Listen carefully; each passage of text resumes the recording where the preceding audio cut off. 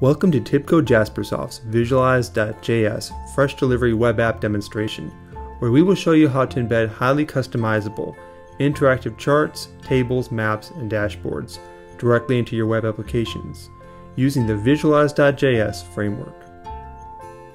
The Fresh Delivery web app was built with you, the end developer, in mind, to not only showcase the awesome embedding capabilities of Visualize.js, but to provide an example project to break down and learn from. In our example, Fresh Delivery Foods provides both online and in-store services. So let's start by exploring our top selling brands and products. In our top sellers page, we have two separate charts.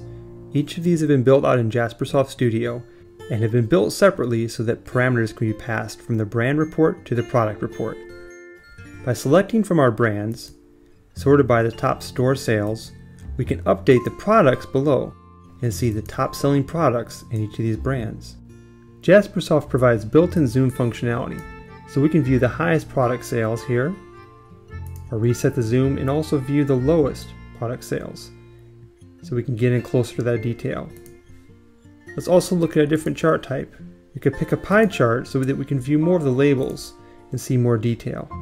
When we select from the brand bars, this now updates the visualization below but keeps the pie chart view.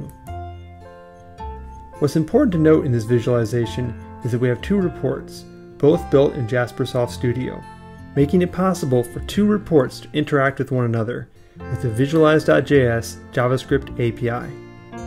Let's look at how a report can interact with HTML as well. In this view, we filter down in the Food Mart dataset to only the most health-conscious options, here we can see that we have seasonal availability listed by the size of the circles, by price, and popularity, or top sales. Let's select a highly popular low-priced item. When I select the bubble chart, it updates the parameter, passing it directly to the HTML using Visualize.js. Since this report was created in Studio, we're able to pass this parameter this way. Notice how in this tooltip we have average units ordered, price, and availability. Below we have the image that updates, but also we have the data points including additional units per case. Notice how it's not included in the tooltip, but it still passes through. If we select from our legend, we can also remove certain items, allowing us to narrow in our search and find items more easily. Let's look at our Go Green page. In this case, we have a Google Map component which has been customized in Studio, allowing customers to filter down to only environmentally friendly products in their local area. Our spider chart then updates, showing the number of available products by department.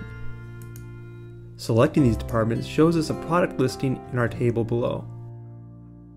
Now we can filter down to the lowest priced items, or add any of the number of custom filters and sorting that comes out of the box with Jaspersoft.